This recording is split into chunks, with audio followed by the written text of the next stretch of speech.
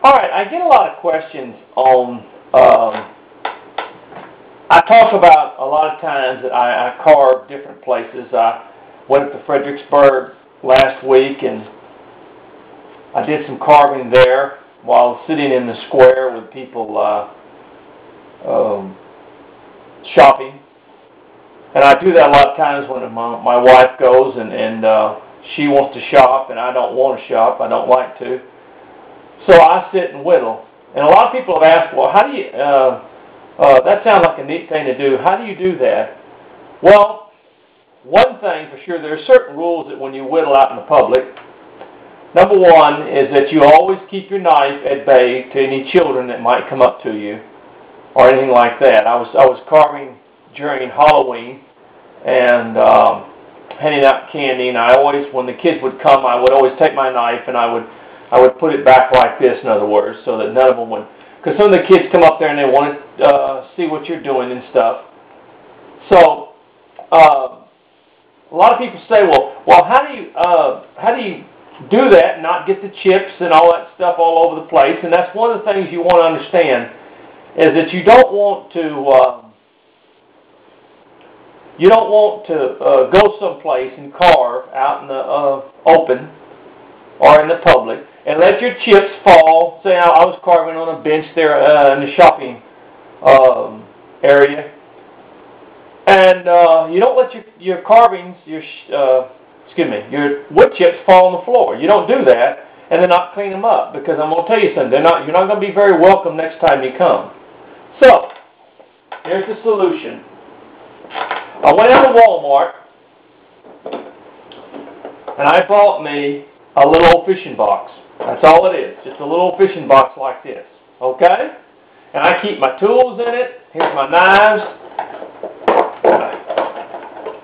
My knives, my gouges, and all that stuff. And I carry it around with me when I do things like that. So all I do is when I get there, I just open my little fishing box like this. I set it on my lap. And as I carve, just like this, my chips, I let them drop into the box. Therefore, I don't disturb.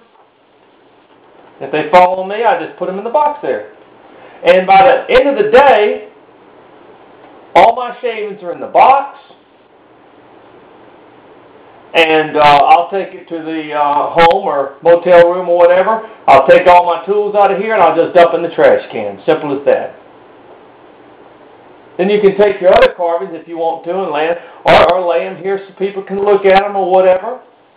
But this is a perfect, and this is a cheap little old fishing box. It's about nine dollars for it's a plastic one, and I keep uh, it, it's big enough to, to keep uh, several of your little blanks that you want to carve out and everything like that sitting right there.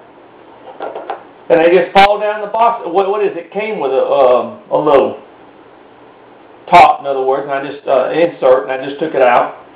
And I just take it out, and as I carve, I just let, uh, and if you've got a lot of chips, we'll stop for a minute, take the tools out for a second, dump it in the trash can nearby.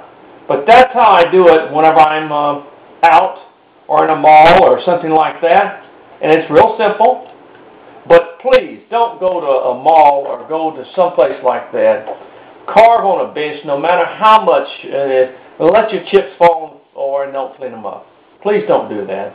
You know, as carvers, we have to be courteous of everyone around us. So this is a little tip on when you carve outdoors or go to a doctor or anything like that. I, sometimes I'll take my mother to a uh, a doctor and I'll bring my little. Uh, I know a lot of people ask you, you're going fishing and stuff like that, and you just laugh at them. Um, but carry your little uh, fishing box around just like that, real simple. And you can open it up, you got your tools here, you got your blanks here, you just open up and start carving and make sure that all, you know, get all your, uh, just carve slowly. It's like that. And look, the chip just fall in there, and later on you can, you can dump them out. So that's a little tip uh, that uh, people were asking me, well, how do you, you know, how do you carve without getting, making a mess and stuff like that? Well, that's how I do it. So That's our little tip for today.